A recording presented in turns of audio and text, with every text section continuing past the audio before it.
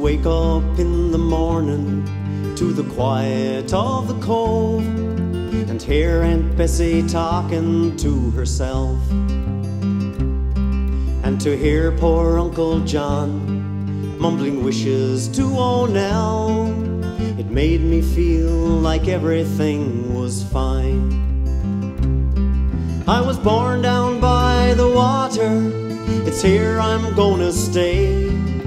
I've searched for all the reasons why I should go away, but I haven't got the thirst for all those modern day toys, so I'll just take my chances with those saltwater joys.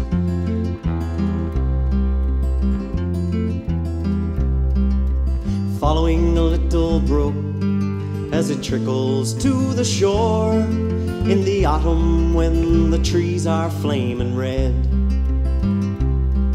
Kicking leaves that fall around me, watching sunset paint the hills. It's all I'll ever need to feel at home. This island that we cling to has been handed down with pride by folks who fought to live here taking hardships all in stride. So I'll compliment her beauty, hold on to my goodbyes, and I'll stay and take my chances with those saltwater joys.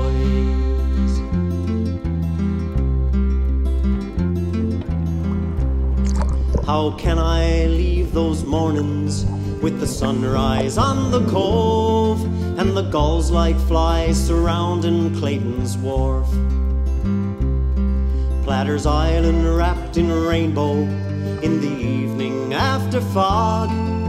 The ocean smells are perfume to my soul.